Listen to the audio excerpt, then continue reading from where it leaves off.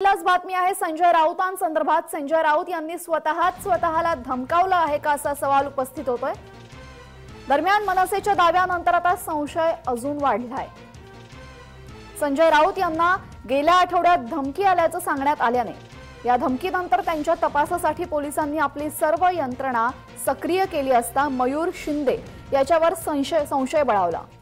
पोलिसांनी अधिक तपासासाठी मयूर शिंदे याला ताब्यात घेतल्यानंतर मनसेने सर्वप्रथम दावा केला की मयूर शिंदे हा राऊत यांचा निकटवर्तीय आहे. आपल्याला आठवत असेल तर ज्यावेळेला ही धमकी दिलेली संजय राऊतांना त्याच वेळेला मी ट्विट केलं होतं की एक चित्रपट आलेला कार्तिक कॉलिंग कार्तिक. तसाच हा राऊत कॉलिंग राऊत आहे. आणि जे मी म्हटलेलं ते आज खरं ठरताना दिसतंय.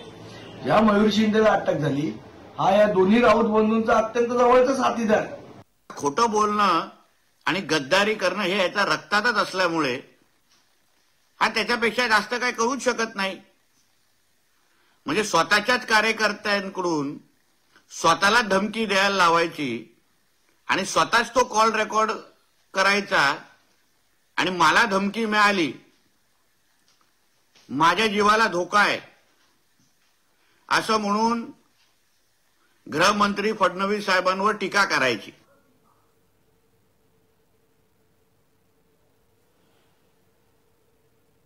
संजय राऊतांनी स्वतःच स्वतःला धमकावलं का असा सवाल यामुळे उपस्थित होतोय. दरम्यान ज्या व्यक्तीवर संजय राऊतांना धमकावल्याचा संशय आहे त्याचं नाव आहे मयूर शिंदे. आणि मयूर शिंदे हा राऊतांचा निकटवर्ती असल्याचं म्हटलं जात आहे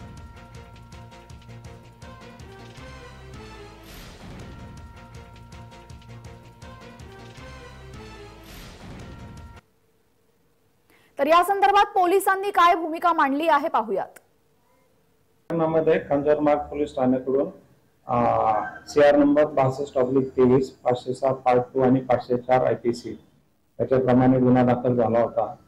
गुन्ह्याच्या तपासामध्ये आतापर्यंत एकूण पाच आरोपी अटक करण्यात आले असून त्यांचे नाव रिजवान अन्सारी शाहिद अन्सारी आकाश पटेल मुन्ना मलिक आणि मयूर शिंदे असे एकूण पाच आरोपी अटक केलेले आहेत. सध्या या गुन्ह्याचा तपास पंजाबनाथ पोलीस स्टेशन करीत असून पुढील जी माहिती आहे ती आपण आपणास आम्ही नंतर अपडेट देऊ. थँक्यू